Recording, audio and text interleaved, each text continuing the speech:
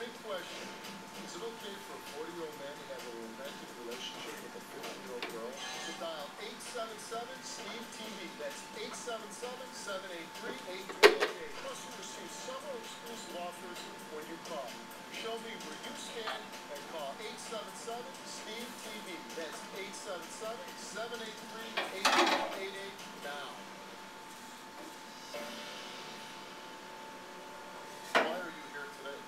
Because she's trying to say that it all happened while I was babysitting and that this kid has to be mine.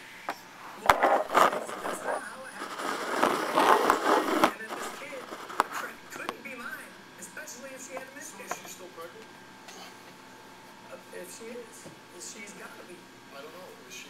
apparently. That's what, that's what they said. How many times did you have sex with this young? Once. Once. Yeah, one time. She never came and knocked on your door. No. No more skipping school. She tried to skip school again that year, but I told her no. So you Leave. shut the door this time. Yeah. Why is that? Because I didn't want it to happen. I didn't want it to happen in the first place. Do you have feelings for Jackson? I, I still think of her as my sister. I think of all of them as my brothers and sisters. And we, we went out.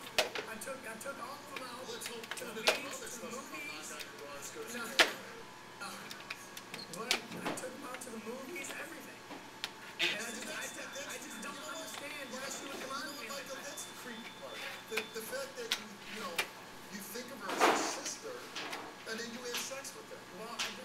she was an adult at that time.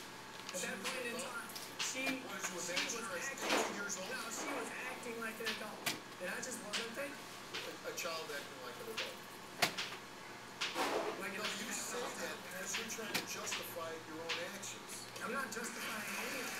That's not even justifying.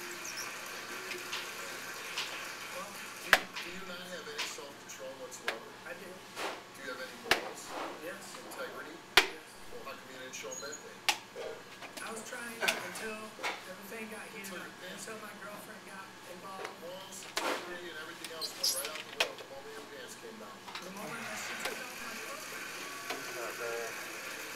my girlfriend said, no, what are you doing? Who's stronger, you or the 15-year-old? Who's stronger? I don't know. Physically? Yeah, No. physically. So you tell me you couldn't say, put length and say, no, you're not taking my clothes off? I did put my arms length. I know,